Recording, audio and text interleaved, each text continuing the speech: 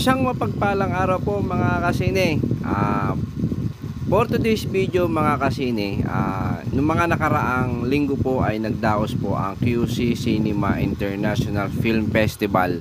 Dito po yan ginanap sa Gateway Malls Cinema.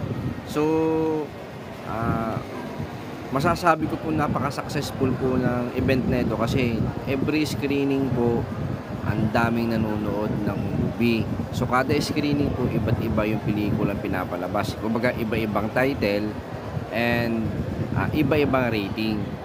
So lahat po ay tinatangkilik. Ah, may local din po at may international film po yan. So natutuwa lang din po kasi ang dami po mga artistang sumusuporta dito. Mga patikan director, saka yung mga patikang artista. So nakita ko po dito si Tercio Cruz III, saka yung sina yung mga sikat po na director. Nandito po sila yung mga indie film. So ah, isang opportunity po na maka- maka-witness ng ganitong event. Ang dami po talagang nanonood mga kasini. Kita niyo yung ticket na yan, ang dami oh.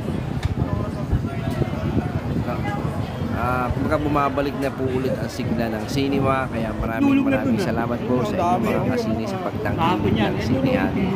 So huwag niyo pong ah, tangkiligin ang mga pirata. So yan mga kasini. Oh.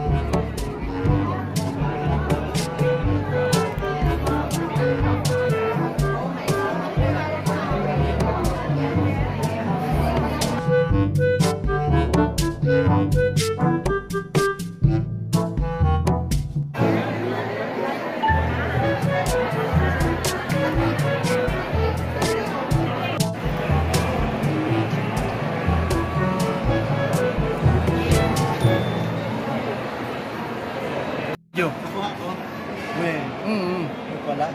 video yan.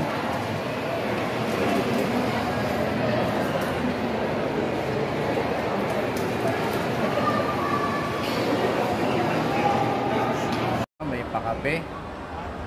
Diba? So, siyempre, may kape rin tayo. Yan, pakape po ng QC Cinema. May pakape pa si QC, oh. Oh. Saan Oo. mo sa vlog? Yan, may pakape pa. Salamat, may kape. O yan, o. Yan ang porter namin, walang gagawa. O, kita nyo. o, yung porter dun sa kabila, o. Awa mo, sinasabi ko, eh.